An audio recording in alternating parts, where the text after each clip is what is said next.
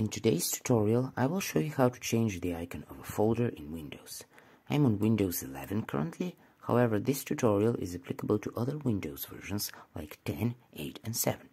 Okay, here's the folder. Right click on it and choose Properties from the context menu. Go to the Customize tab and take a look at Folder Icons. As you can see, you can change the folder icon. It won't show a preview of the contents anymore though. Click on Change Icon in the new window, you can select an icon from the list below. You can also choose to change where Windows looks for icons. You have to specify a different file. Icons are stored in dynamic link libraries usually found in System32.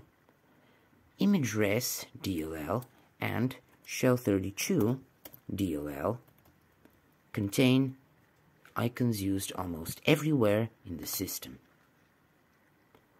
You can also check DDoRes DLL, a library with icons for hardware devices.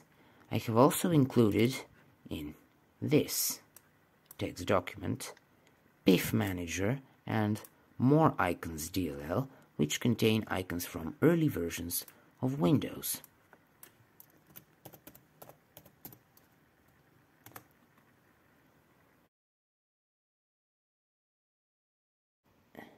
Note that if you select Large Icons View, these can't be enlarged. In the text document, there are some other DLLs like NetShell, IE-Frame, and WM-Ploc. Check them out if you need a more specific icon. Thanks for watching the video. I hope it was useful. A sub to the channel would be appreciated.